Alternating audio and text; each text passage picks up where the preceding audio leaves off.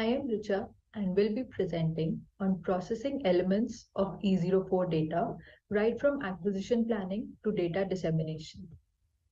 Broadly, I will speak about the E04 mission in brief, data processing in a gist with planning for future acquisition, the ground station workflow, data dissemination, and near real-time visualization. The E04 mission is a follow-on mission of RISAT-1 with C-band SAR having the capability to image in strip StripMap, ScanSAR, and Spotlight modes. SAR is an active sensor with its own source of energy and with its capabilities of dawn to dusk imaging in all weather conditions. It caters to diverse applications from agriculture to disaster management support, especially during floods and cyclones.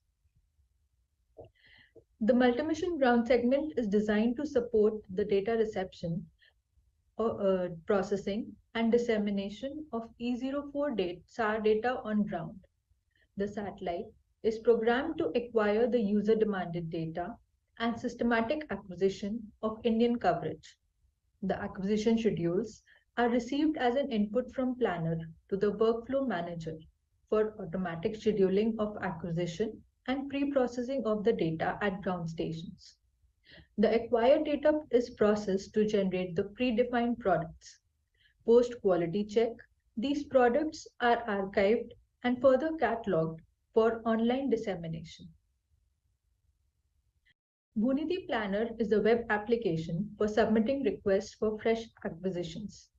Any user can specify the area of interest and requested dates and can then view the possibility of acquisition. The submission of the planning request is only by registered and authorized users.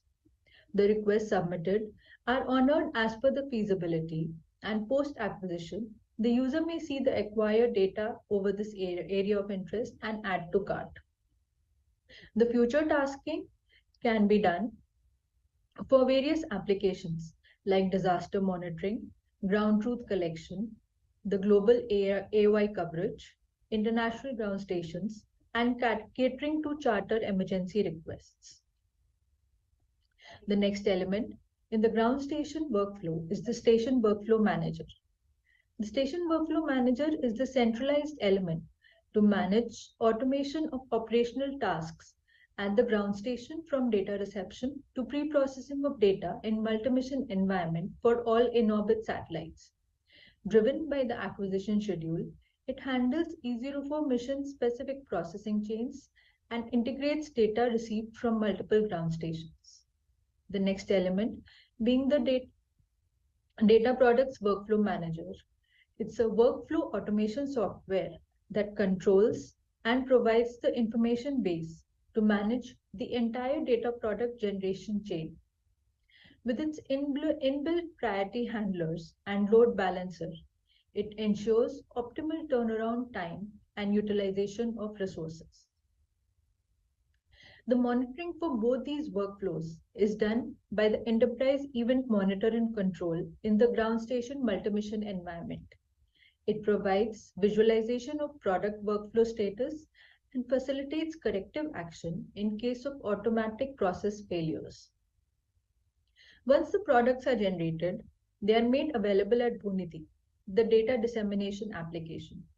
Bhoonidhi hosts a repository of Earth observation remote sensing data from various satellites right from 1988 to fresh acquisitions being added on a daily basis.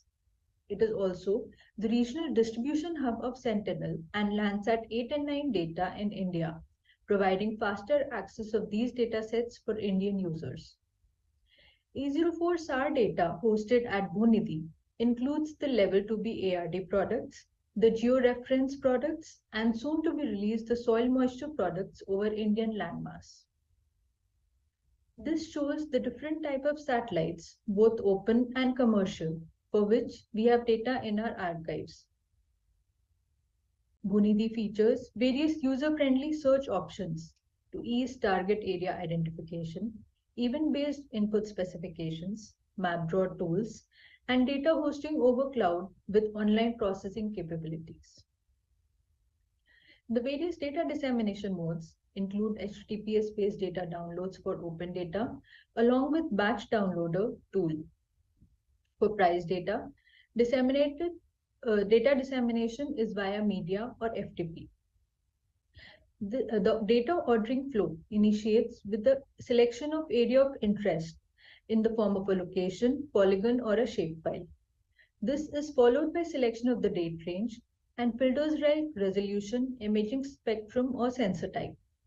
Once the satellite sensor is selected, data is fetched and made available for user selection. User selected data is added to cart.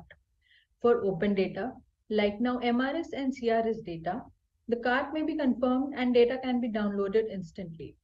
For price data, the cart can be converted to a proforma invoice. This proforma invoice can be subsequently converted to order and the order status can be monitored while the products are being generated.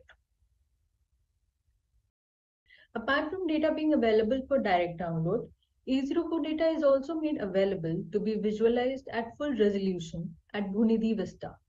This application showcases how India looked in the recent past by Indian and other Earth observation sensors. Here we see the full India coverage by E04 SAR MRS data. The analysis tools available at Vista include comparison slider that allows for comparison of various satellite imagery, facilitating change detection. The linear management tools aids the elementary analysis of distance and the feature area estimation is useful for disaster impact analysis. Here we see the FRS-1 polarimetric decomposed imagery of Brahmaputra floods. Next is the near real-time flood mapping of Assam floods in June 2023 with E04 data displaying the sigma naught product and the flood layer. The next visual is of Sikkim flood in October 2023, where we see the pre and post processing scenarios of the South Lonak Lake outburst.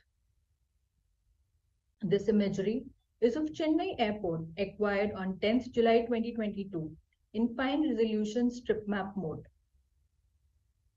Bhoonidhi also hosts a huge repository where the user can help uh, can find help documents and videos, sample products, tools, and workshop material for ready access. Shortly, we will be releasing API-based data access for machine-to-machine -machine data and online compute environment for E04 data at Bhoonidhi. Thank you.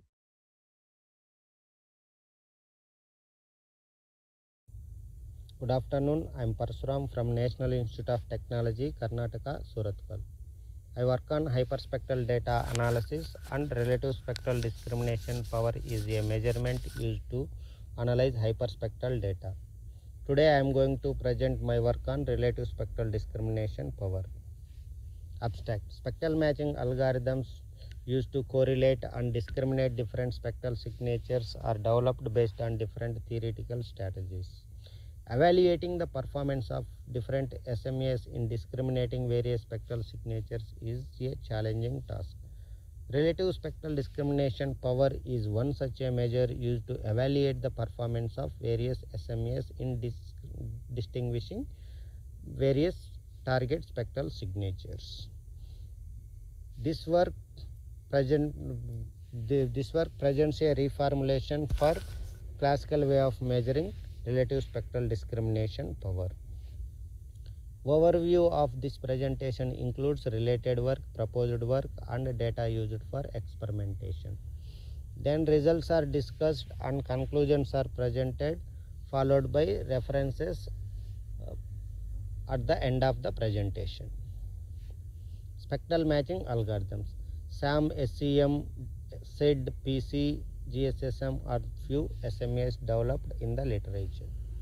Spectral discriminatory probability, spectral discriminatory entropy and relative spectral discrimination power are few spectral discriminability measures proposed or available in the literature. This work focuses on relative spectral discriminatory power. Relative spectral discriminatory power discriminates how one target spectral signature is different from another target signature relative to a reference spectral signature. Equation 1 presents how classical way of relative spectral discrimination power is measured. Relative spectral discrimination power is measured as a simple ratio between similarity or correlation values of target spectral signatures with respect to the reference spectral signatures. The similarity or correlation between the two target spectral signatures to be discriminated are not considered in this.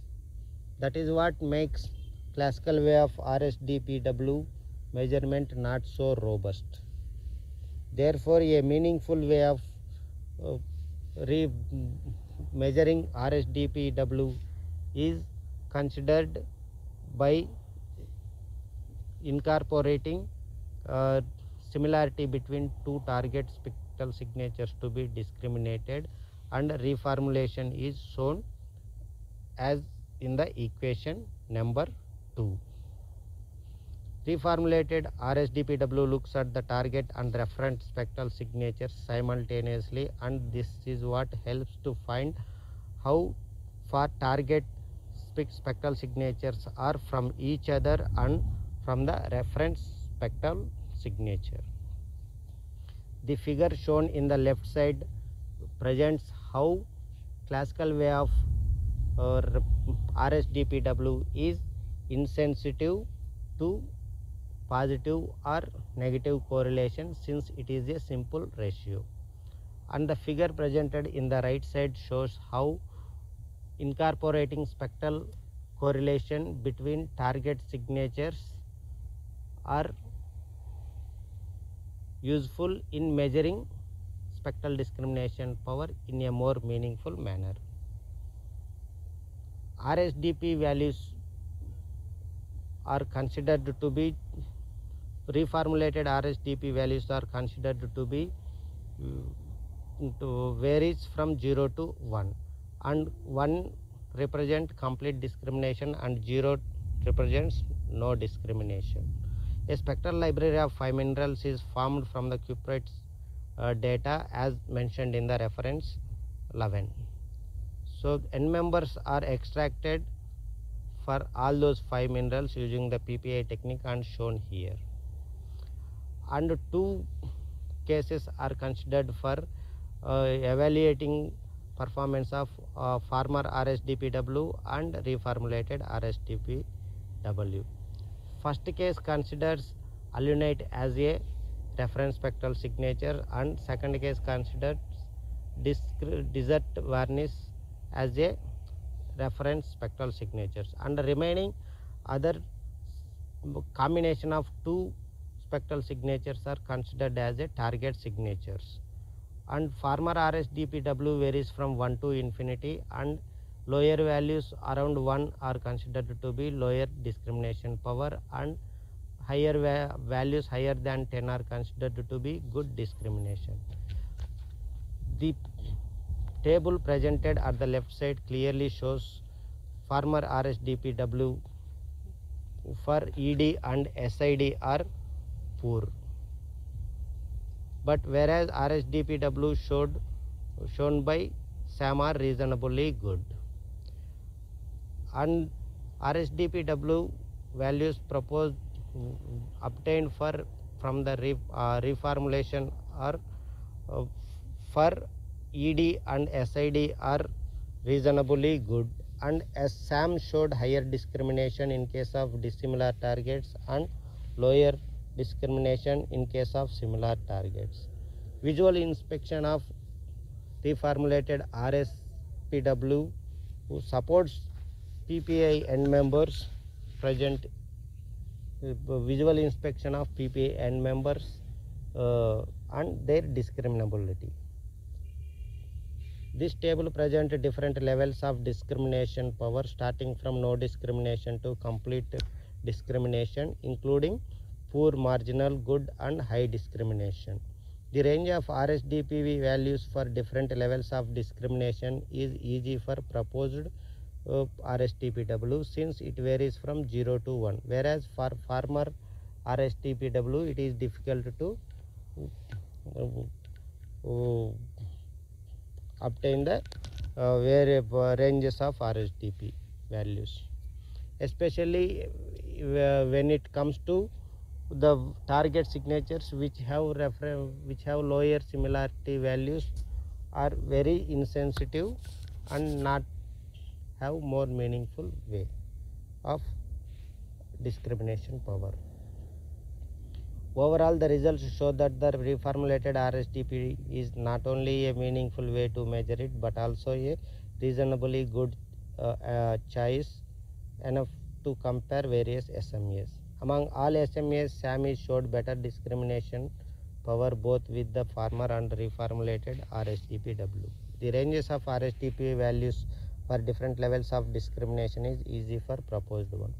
These are some of the references used for this study. Thank you. everyone i'm swati and today i'll be presenting synchro squeezing transform based if estimation for target detection improvement in sfcw radars. Step frequency continuous wave signals or popularly known as sfcw signals are used in ground penetration radars. Uh, the major advantages being it reduces the hardware complexities and improves the performance of the system. The traditional data processing methods, such as inverse Fourier transform, uh, are used to derive the range profiles from the acquired frequency domain data, but that causes weaker targets contamination by noise and side lobes of the stronger targets. Advanced techniques such as those based on ICA and PCA have been used for improving the radar performance via processing, but they, don't work on 1D data or the A-scan data. Uh, Fourier synchro squeezing transform and frequency detection based instantaneous IF estimation method is being proposed for denoising and improved target detection capabilities in step frequency radar. SFCW transmit signal consists of multiple frequencies uh, within a frequency band um, being transmitted in steps of delta F and uh, with a dwell time of TD. Uh, the total sweep time uh, covered by them is TS and the entire signal that we receive in the TS duration is used to reconstruct the, sig uh, received signal to synthesize a high, high uh, resolution uh, profile. The received signal contains the IQ signals containing both the amplitude and the phase information of targets at each transmit frequency. Further processing using IDFT to derive target range and electrical characteristics by synthesizing a narrow pulse in time domain.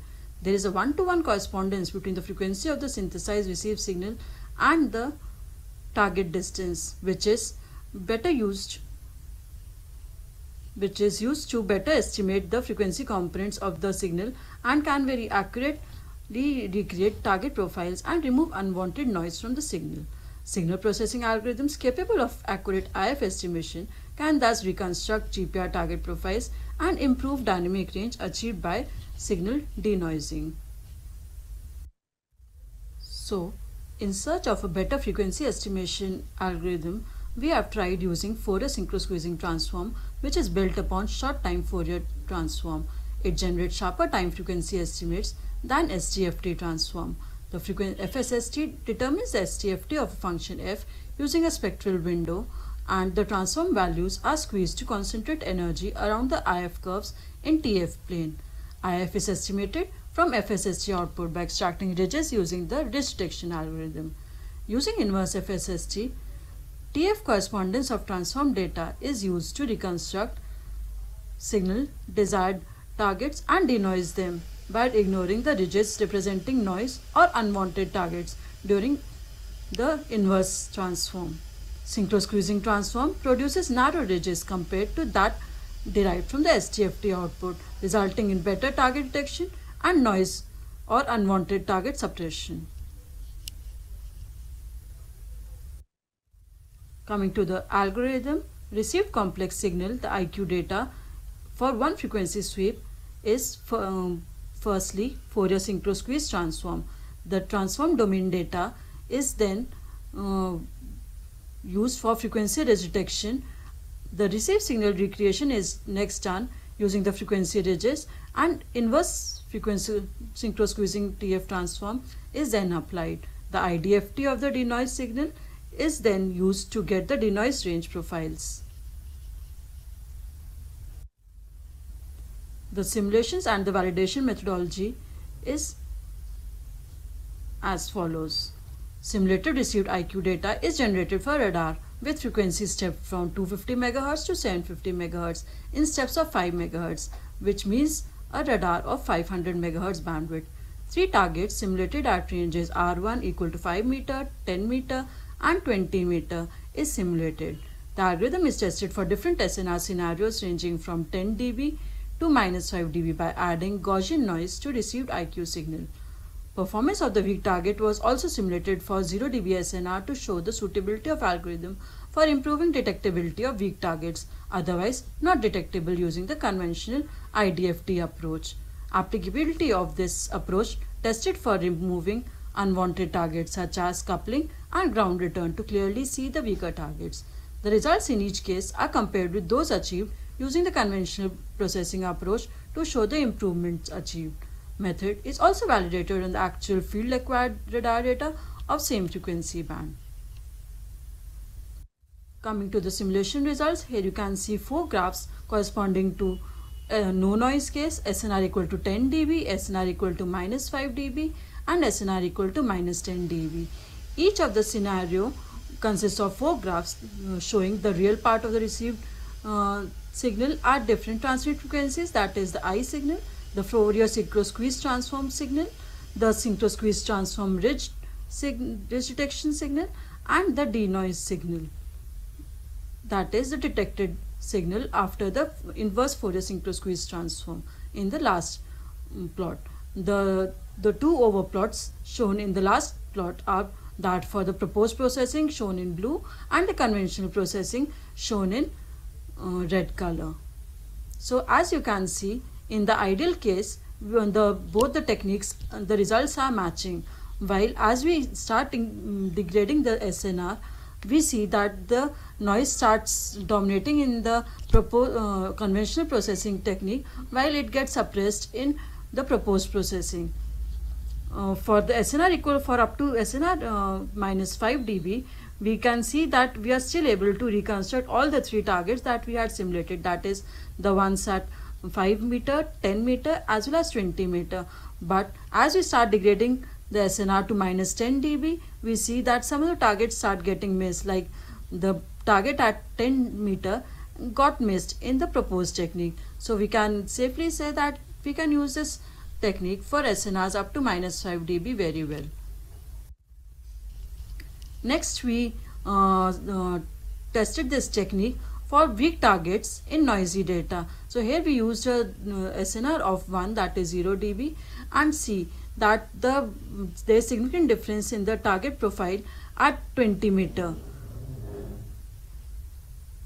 Uh, while the target at 20 meter is um, barely visible due to the excess noise in the conventional processing technique that is in the red color it is clearly detectable due to the suppressed noise in the proposed technique.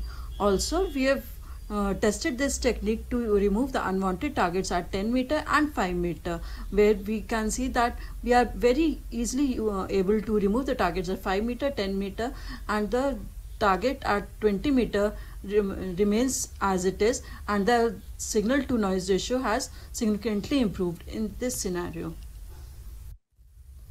For experimental validation, we have used field data of a in-house developed GPR instrument at ISRO and at working at the similar frequencies. Uh, we could see that there is significant improvement observed in both A scan as well as 2D B scan image.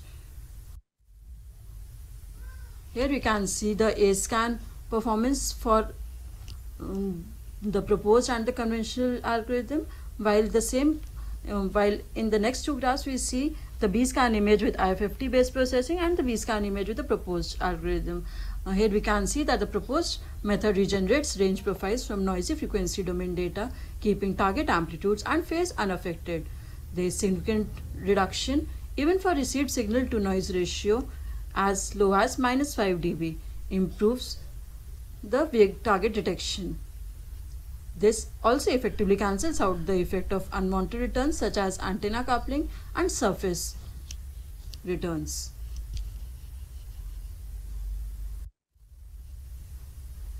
Coming to the summary and the conclusion. The study investigated use of Fourier synchro-squeeze transform based detection for radar target detection. It is tested both on simulated as well as SFCW GPR data acquired over realistic scenarios. The results indicate that the proposed approach indeed suppresses noise and target detects targets accurately even for multi-target scenarios. The produced results are much better than those using existing IDFT based methods.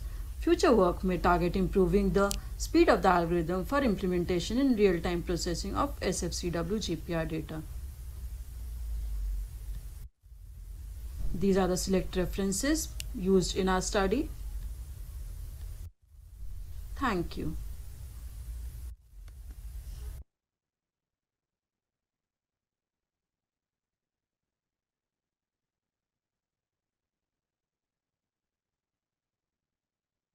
Hello. Uh, can you hear? Yeah, I'm able to hear you. Am I audible? Yeah, you can ask. Hello?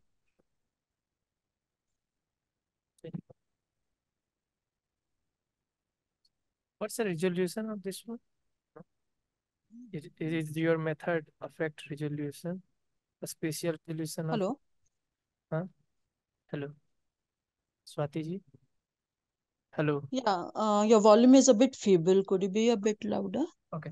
So uh, this this method what you are using, is it Yeah. Any effect on uh, a spatial resolution of your no?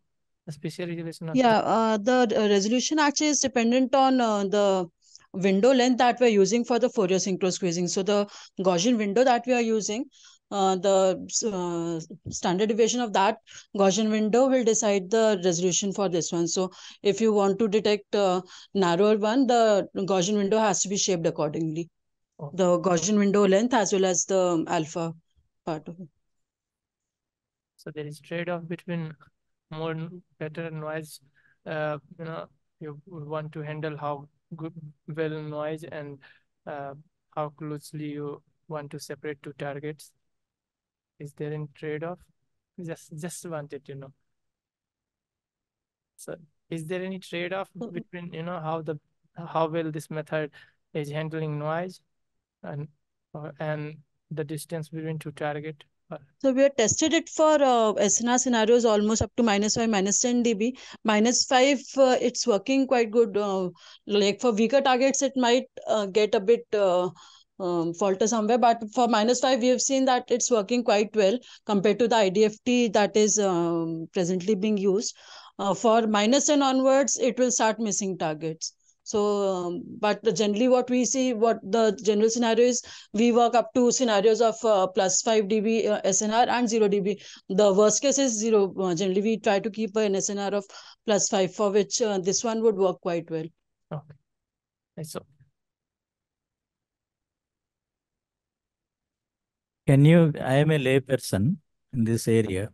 Can you explain that synchro squeezing transformation Uh, synchro squeezing transform is uh, a modified form of. Hello, am I audible? You are audible. In very simple terms, can you explain me because I'm completely novice in this uh, particular field. Okay. Um, in frequency, uh, uh, this Fourier synchro squeezing transform, what we do is uh, we uh, you uh, see the data in time frequency domain, and then uh, once we have the time frequency domain data, we reassign the spectrum. Like uh, the the spectrum lines that we see in the time frequency domain. It would be further squeezed, so the resolution uh, improves uh, of the uh, individual modes that we are seeing in the signal. So since the um, SFC uh, CW received signal is made of multiple frequency components, Okay, each of the okay, frequency components it is represents a okay, okay, target Swati. in Yeah, a time domain. yeah, yeah. No, the other Yes, thing, uh, the GPR, it is ground, ground penetrating radar, right? Yes, sir.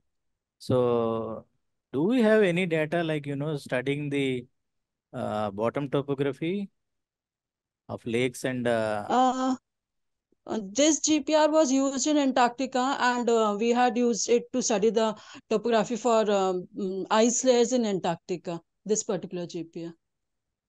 So uh, for SFCW. areas, you know, we don't have in India about GPR uh, based data. Particular topography one, uh, this one was used in Antarctica actually. This was more of made for uh, this uh, ice studies and also Yeah. that So you also mentioned about uh, extraction of ridges and ridge detection. But I Yes, feel sir. that these are not the terrestrial ridges, right? They are the ridges in the signals that you are talking, right? Yeah, ridges in the signal. The uh, TF uh, um, domain data that we are seeing, the ridges in that represent the individual frequency modes that we have detected. So Okay. ridges are the frequency ridges. Okay, thank you. Thank you, Swati. Yeah. Thank you, sir. Hello everyone. Our study title is Analysis of Shadow Interference of Chromatic Information in Unmanned Aerial Vehicle Optical Imagery. Unmanned vehicle unmanned aerial vehicles have tremendously developed and contributed to domains taking advantage of the affordable and fast source of gathering data.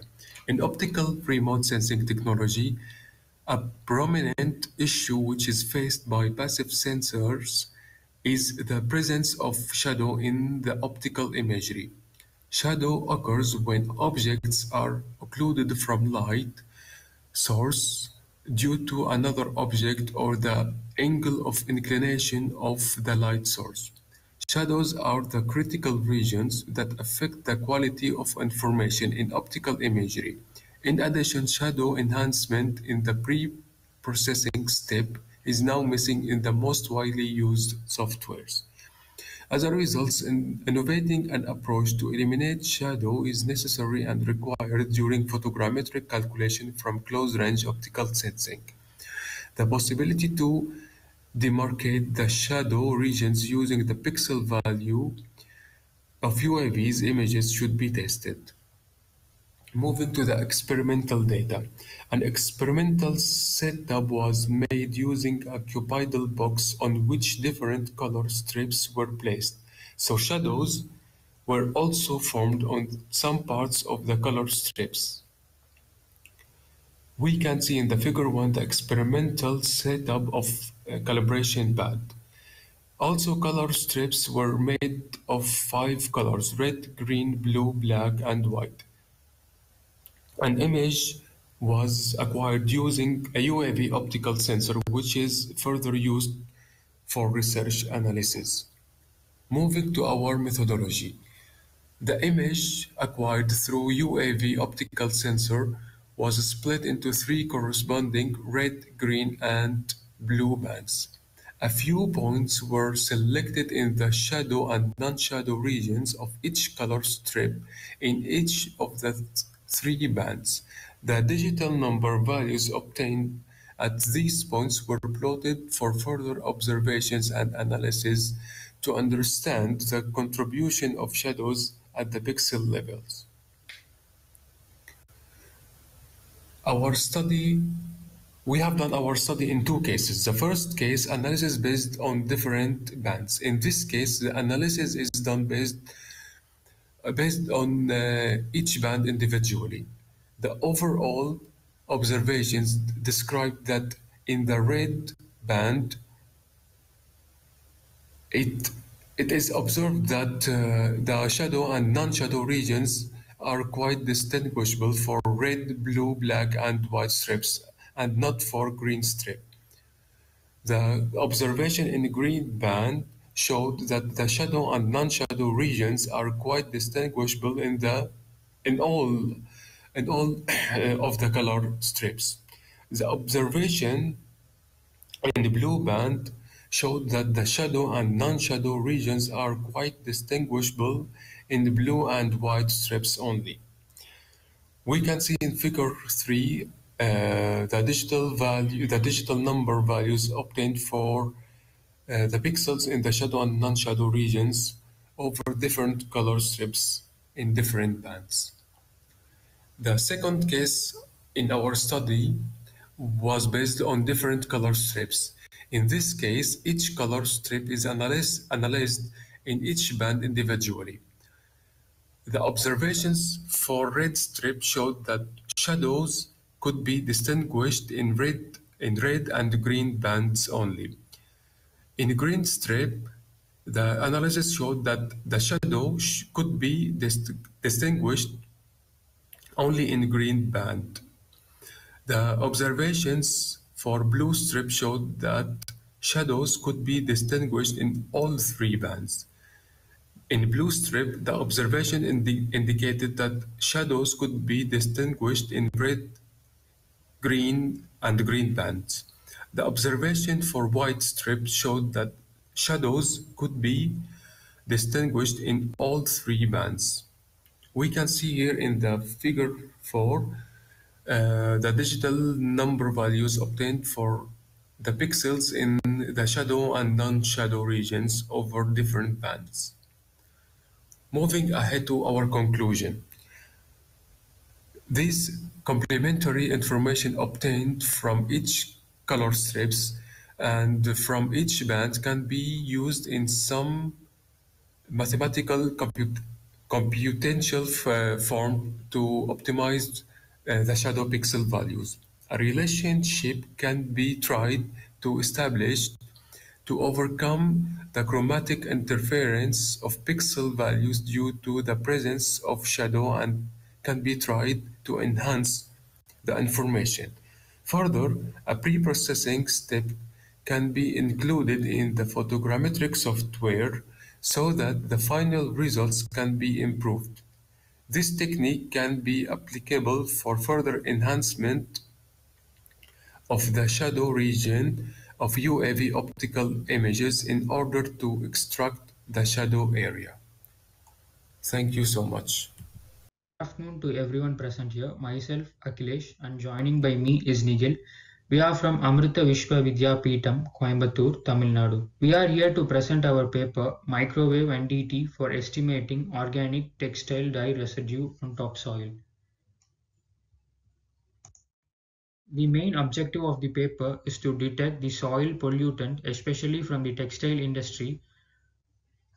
As we all know, textile dyes can have adverse effects on soil quality, with major factors of soil pollutant being wastewater and waste dyes from the textile sectors. These textile units release untreated or inadequately treated effluents containing high concentration of dye compounds into water bodies. These eventually seep into the soil. Dye usually contains heavy metals or toxic chemicals that persist in the soil for a longer duration, causing degradation to the soil quality, making it uh, unfit for cultivation. Various existing solutions like offline laser-based technique, bio-nano sensor and other invasive techniques have already been developed and reported. This paper provides a sustainable solution using microwave reflectometry, a non-destructive estimation technique. With this technique, the soil contamination can be detected and bioremediation measures can be carried out to improve the soil quality. Coming to the dye contaminants used in the experiment, the dyes were classified using IR spectroscopy with attenuated total reflectance mode. The identification of the functional group present in the soil were obtained from the wave number observed from the transmission spectral plot, spectra plot. This is shown, the plots are shown in slide 4. The black dye A exhibits alcohol group, the purple dye figure B exhibits an alkene group, and brown dye has an ether as the prominent functional group. Interestingly, all three groups show the presence of OH group. For the experiment, all the three dyes are mixed together using a sonicator and transformed into a single composite powder, which is then used in the dye as a dye contaminant on the topsoil. These are the transmission spectra plots. So for a black dye, the wave number is around 1100 and for a purple dye, the wave number is around 1200 and for a brown dye, the wave number is between 1200 to 1300.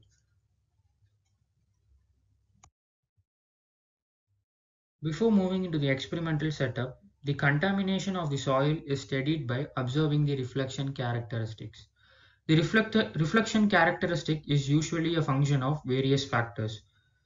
Here, The composition of the organic dye influences the properties and the ability of, to observe the reflected electromagnetic waves. Second, the concentration of the dye added to the soil surface also plays an important role in influencing the reflection characteristics. Higher the concentration of the dye molecules, the higher the interaction with the soil particles and the electromagnetic waves. The frequency range of the reflection measurements carried out also serves as an important function. And finally, the depth of dispersion of the contaminant dye into the soil will also affect the reflection characteristics.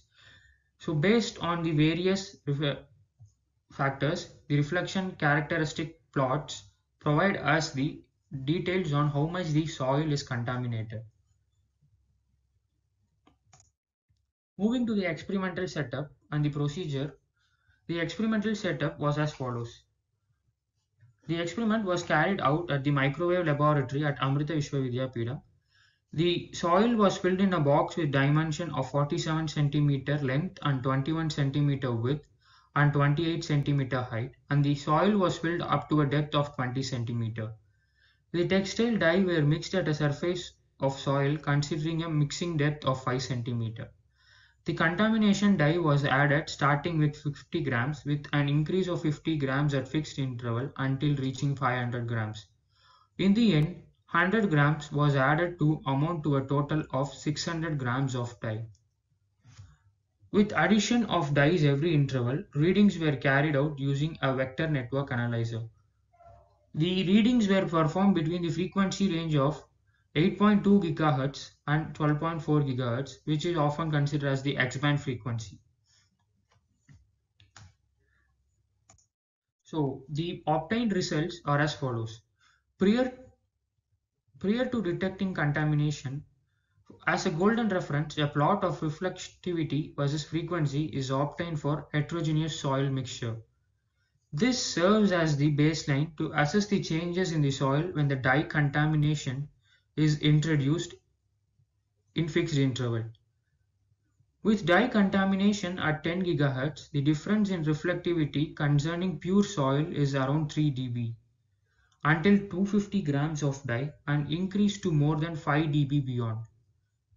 Better results were obtained at 9.58 GHz and 10.45 GHz.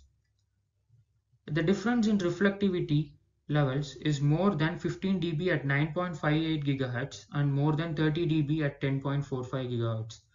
The plots are shown in figure slide 8. So based on the results obtained for frequencies at 9.58 GHz and 10.45 GHz, we can conclude that there is a significant difference observed in reflective values between when compared to the heterogeneous soil and, and soil with the pollutant. This could pave way for developing electronic system for pollution monitoring which is non-invasive and non-destructive using microwave reflectometry. With further studies, a more enhanced detection system can be created leading to the successful implementation of bioremediation process and contributing to the goal of achieving sustainable practices in the textile industry.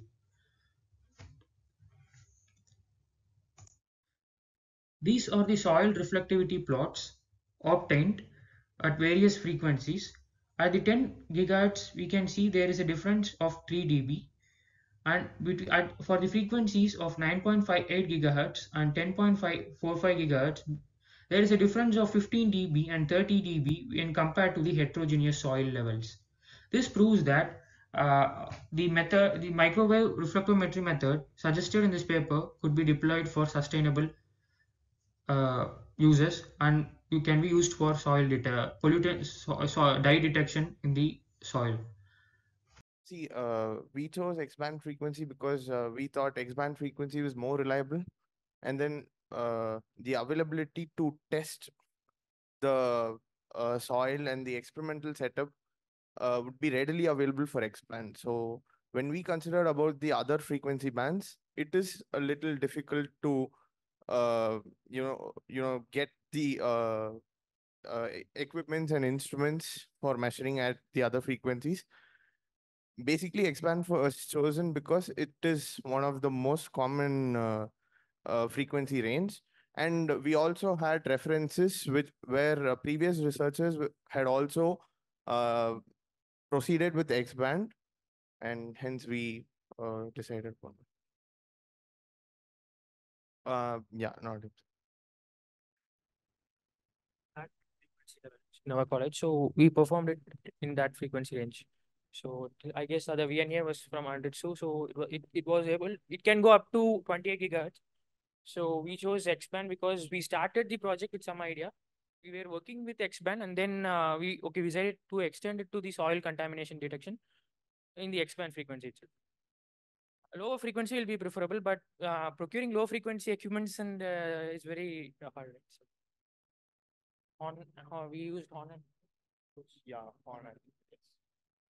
no, we don't. We did not consider the polarization. We just kept it at ninety degree. Yeah, it was only. Uh, Yeah, so yeah, true. Like as I, as I, as I said, the reflection character. Uh, so we have to work. As I said, like the the experiment can be uh, carried out further. So we did not have any uh, specific time to carry out uh, further exper experiments. So we kept it at a simpler level, carrying out at ninety degree. Yes, yes, other yeah, like as I said, like the reflection will vary for a lot of. Uh, it's a function of lot of things: polarization, the soil depth, yeah, yeah, everything. Yeah, everything. Yeah. Yes. So, just a second. Yeah, polarization comes in when we take uh, uh, incidents at different angles. Here, since uh, we wanted to uh, eliminate so many factors influencing the reflection, we chose to, uh, you know, stay with the 90 degree reflection things. Because there are uh, various factors which will affect the reflection properties. Uh, so we want we didn't want to complicate things even further by considering those things because uh, even a little amount of moisture in the soil could have also contributed to uh, higher or lower reflectivity. level. So we chose to keep it at uh, a dry level. That is, we had dried out the soil completely before these tests. So, uh, you know, it- yeah. so- yeah, So we, we try to simplify everything as much as possible. yeah. So we tried to keep down the, uh, you know, reduce the number of variables which will actually affect the test results. So that's why we hadn't taken polarization into consideration. That is oblique incidence, yes. Yeah, at the top. Yeah. Yes.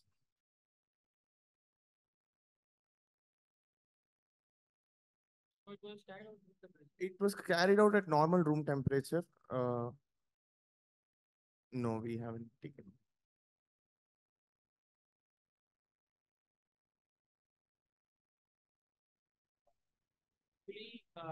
The idea we started was for tunnel detection.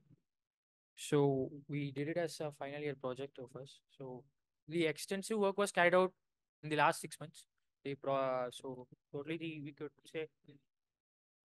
Oh, you're asking about the temperature. Sorry. Uh, so Yeah, sorry. To be very specific, this particular part of the experiment was carried within three months, that is like June to August to September.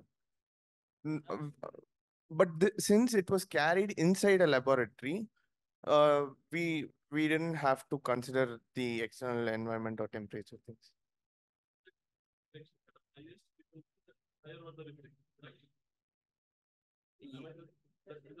No, actually, not higher.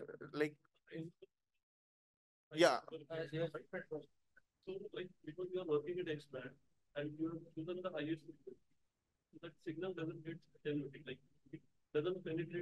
No, that's why we had uh, chosen to show that two frequencies which uh, there were uh, which were there were 9.58 and 10.42.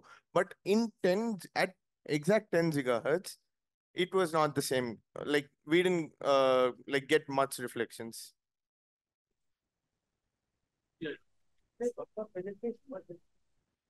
We have to wind it up by. Yeah.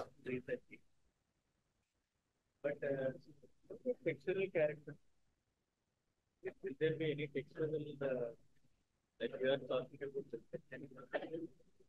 Yeah. Fiction, fiction time. There be any fictional maybe? Like uh, here. Yes.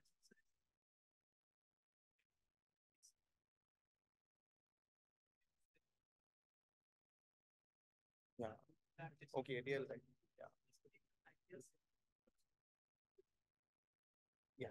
Hello everyone. I am Haindavi, working as Scientist Engineer SD in National Remote Sensing Center, ISRO Department of Space. The topic is Automated Workflow for the Generation of Time Composite Mosaic of AWiFS Full India Data. Coming to the introduction part, we used ResourceSat 2 2A satellite AWiFS sensor data for this work. ResourceSat 2 2A satellite is an Indian remote sensing satellite comprising of three sensors LISS3, LISS4 and AWiFS. AWiFS sensor has four spectral bands say green, red, near infrared and short wave infrared with 56 meters of spatial resolution. It has a revisit pe period of 5 days and since its revisiting capability is high, we are able to achieve 6 mosaics in a month using AWiFS sensor data out of which a single time composite mosaic is generated. Here are the specifications of AWiFS sensor data on the right side. Due to daily acquisition, the data is often affected by cloud and varying atmospheric conditions. Obtaining a cloud-free time composite mosaic with a sub-pixel image registration accuracy is really a challenging task, but this can be accomplished by applying cloud and sea masks on each input scene while GCP collection. After GCP collection, images are ortho-rectified using rational polynomial coefficients. These ortho or geometrically corrected data sets are used to generate a single image by a pixel-based composite method called geomedian or geometric median. Coming to the methodology, AWIP sensor data is used, used is of GeoOrthoKit on quadrant scene basis. The input data is supplied along with RPCs. Actually, RPCs are used to make the ortho product more precise. Now, top of atmospheric reflectance is calculated for each band of input data and stacked to obtain a multispectral data. Stacking is done using GDAL merge in Python. Now cloud and sea masks are applied on the input data before GCP collection itself in order to avoid these parts of the image while GCP collection. Now GCPs are identified using Fourier transformed base image registration technique. RFM transformation model is used to transform the input image to match the reference. Using this RFM, the images are orthorectified. Coming to the cloud mask and sea mask generation, the cloud mask is generated using deep learning based model. The model is basically a convolutional neural network model which uses U-Net with attention module architecture. The sea mask is generated from shapefile of India. Coming to the image registration and orthorectification part. Image registration is the process of aligning images of the same scene taken by the same or different sensors at different times or different viewpoints.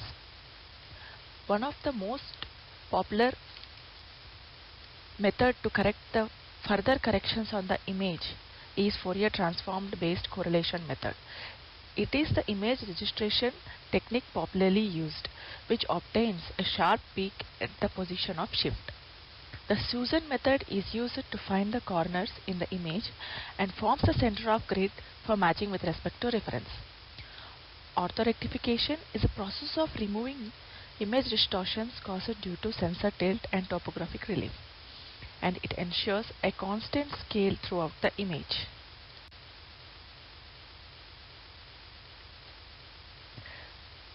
Coming to time composite generation, geomedian is the method used for time composite generation and the entire process still here is automated. Geometric median is defined as the point minimizing the sum of distances to the input pixels. For a given set of p-band pixel observations, that is multi-band pixel time series, the geometric median is defined as it is here, where argmin means the value of the argument x which minimizes the sum. Here, it is the point x from where the sum of all Euclidean distances to xi's is minimum. The value computed out of geometric median is the synthetic value, that is, not a copy of any one of the actual input image pixels. This method has advantage of generating cloud-free mosaics even when up to half the input images contain clouds. Since the cloud cannot be limited up to 50%, we are using cloud masks to mask the input data.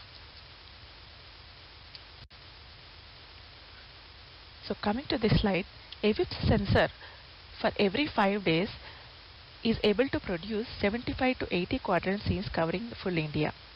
Cloud-free data of Landsat 8 or 9 level 2 data mosaic of band 8 is used as reference and DEM of Aster with 30 meter posting is used. Here is the difference shown in the table how the RMS error is with mask and without mask. Examples on three quadrant scenes are shown. Coming to the results part, in top left figure, A is the multispectral quadrant scene of AWiFS data, B is the cloud mask obtained out of that data, and C is the input data upon which cloud pixels are masked, D is sea mask overlaid on the input. Next, the bottom left figure shows the image registration quality with and without masks applied. On the right hand side, A to E are the time series datasets of different dates of Hyderabad area combined using geomedian method and F is the image obtained. Coming to the conclusion part, image on the right hand side is monthly full India composite mosaic of AWiFS data for the month of May 2023. Able to ensure subpixel accuracy with cloud and sea masks. If all pixels in the stack of mosaic are cloudy, then composite will be zero. This creates gaps in the mosaic. Able to mask only thick clouds by our algorithm. Thin clouds alters the composite values and removal of these thin clouds is quite a challenging task and it is planned as future work. Thank you.